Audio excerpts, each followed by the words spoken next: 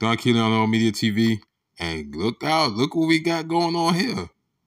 Randy Ewing, you know, not Patrick Ewing, uh, long lost cousin or anything. And no, he wasn't shooting on the court. He was shooting on the courts of Memphis, streets of Memphis.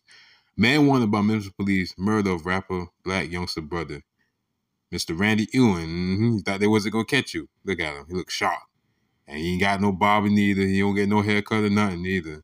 They always don't. And they look at the table line. You can't trust nobody with that kind of edge up. It ain't even edge up. It's a uh, what is it?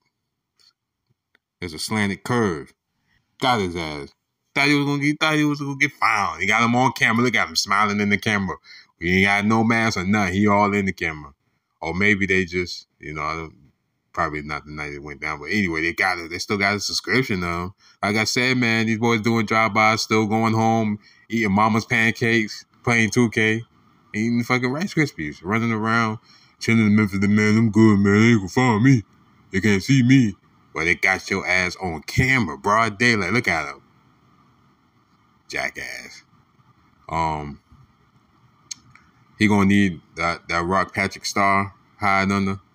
You know, he's, you know, they're gonna find him. Oh, they're gonna find him. Anyway, uh, they found him, man. They uh, got him. Uh, well, they don't got him. They found him. They're still out there looking for him. He's one. He's on the run. He's somewhere in the hole. Um, he's probably in a barrel somewhere. Uh, he gonna need a Harriet Tubman Underground Railroad to get away. Uh, he's probably hiding somewhere in El Chopper. Um, yeah, so they finally found him. Uh, it's been reported a couple hours ago by the Memphis Police Department itself. They found the victim, um, but they haven't captured him. They spotted him.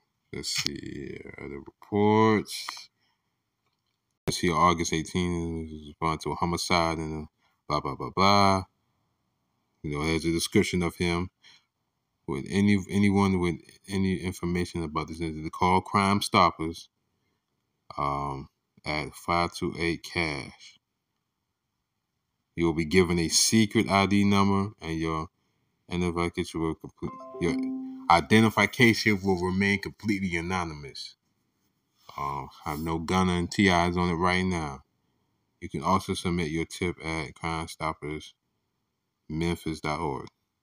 All right all you teletattlers out there, if you see him, make sure you uh, call Crime Stoppers. Yeah, man, uh, they got him. They got, they finally spot him. Signing out.